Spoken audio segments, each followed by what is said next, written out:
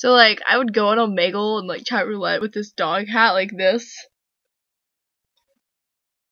And I'd like wave, you know? Hey. And then like all of a sudden, like they'd be like, Oh yeah, sweetie dogs like you, love you babe and I'd be like, Bitch, I'm a pit bull, I will maul your ass Whoa, look at that ceiling. Whoa. And uh yeah. A lot of people nexted me because I was really hostile, and they didn't expect me to be hostile because, you know, I'm a dog. But anyway, um, it happens because people suck, and I like fruitcake and shit. So, um, yeah, it happens. It's life. It's, it's how we, you know, we do things, and, uh, yeah.